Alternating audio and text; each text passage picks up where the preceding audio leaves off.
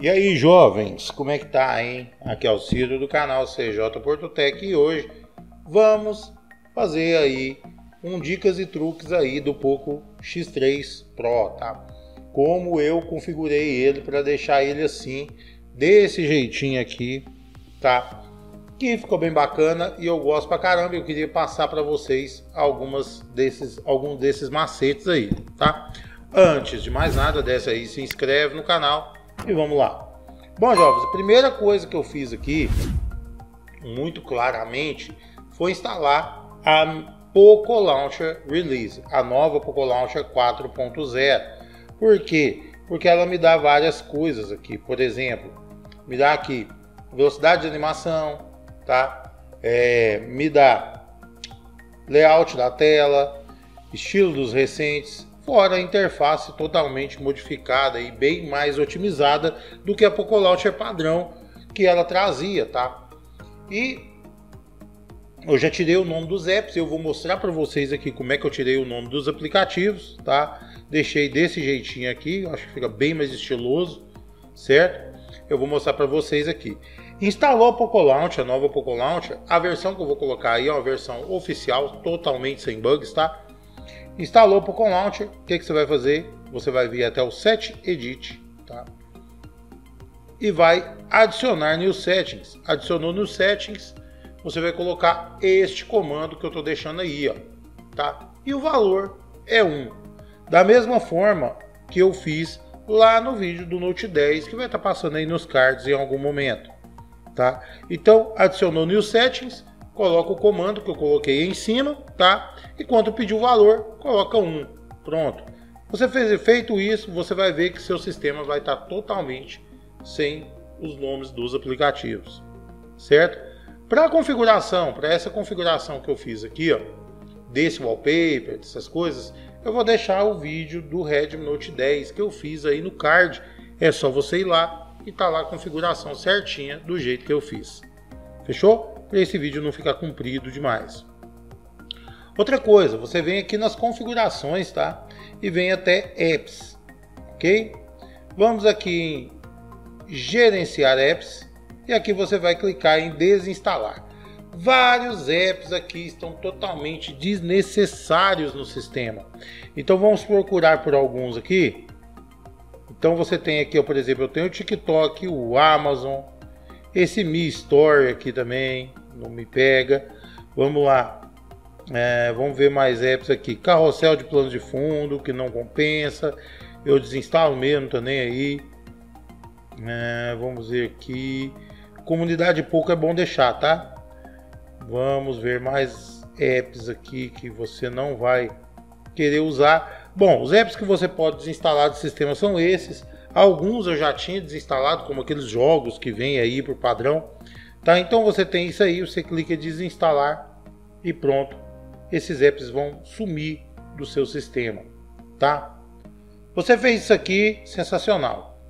Muita gente reclama de consumo de bateria, tá? No MIUI Global. Tem algumas coisas que você pode estar tá fazendo aí que vai aliviar essa descarga de bateria aí vai te dar mais um ganho de bateria no seu sistema.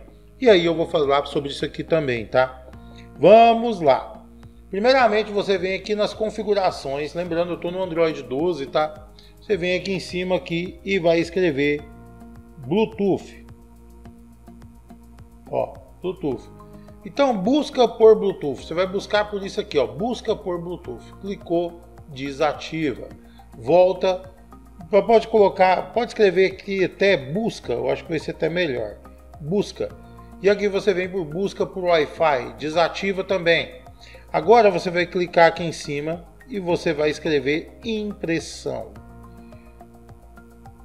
Impressão. Você vai clicar aqui, serviço de impressão do sistema. Você vai clicar e vai desativar também. Desativou isso aí, sensacional. Você já vai ter um ganhozinho de bateria aí para aliviar sua vida. Outra coisa que eu recomendo estar tá fazendo também é desativar o NFC e deixar o NFC ativado apenas quando você for usar é apenas um clique, jovens. Não tem necessidade de deixar o NFC ligado. O Bluetooth aqui fica ligado, Bluetooth 5.0 para cima ele puxa muito pouca energia, tá? O NFC ele alimenta uma bobina, tá? Então acaba sendo mais é, não é uma bobina, é um sensor, acaba sendo mais é, gastão do que o próprio Bluetooth, beleza? Outra coisa que você pode fazer também é instalar este app aqui, ó. Este app aqui é o Disable, Disable System Apps. Esse aplicativo aqui, ele vai te proporcionar, estar tá desativando alguns recursos do sistema que você não tem acesso pelo gerenciador de aplicativos da Xiaomi. Então, que, que, eu vou fazer? Eu vou clicar aqui, ó, remover apps, tá? E aqui vai ter todos os apps. Você vai clicar aqui em mais e vai mostrar sistema. Tem alguns aplicativos aqui, jovens, que você desinstalando você desinstalando não, você vai poder desativar. Tem um aplicativo aqui que você desativando, você já vai ter aí um como eu vou explicar? Uma folguinha aí também na bateria do smartphone, certo? Eu já fiz vídeo sobre isso aqui há um tempo e eu vou procurar ele aqui, é só eu achar ele. Device System Health, tá? Então clica aqui e o que, que você vai fazer? Você vai forçar o fechamento, ok, e vai desativar o app. Pronto. Isso aqui você pode até fazer nas outras mil aí também, vai ser legal. Agora você vai procurar por MSA, tá? Deixa eu procurar por ele aqui, deixa eu lá embaixo. MIUI Demon, você vai desativar ele, forçar a parada, ok? Só que ele não desativa por aqui. Eu vou mostrar como é que você desativa ele. E o MSA também. Então eu vou, mostrar, eu vou deixar na descrição aí um vídeo onde eu ensino como desativar ele, tá? Então, como é que você vai desativar aquilo lá? Você vai vir nas configurações, você vai vir em configurações, vai vir em tela de bloqueio, vai vir em senhas de segurança e vai vir aqui, ó, autorização e revogação. Aqui você vai desativar esses dois aplicativos aqui, ó. MIUI Demon, revogar, e o MSA. O que que esses aplicativos fazem, Ciro?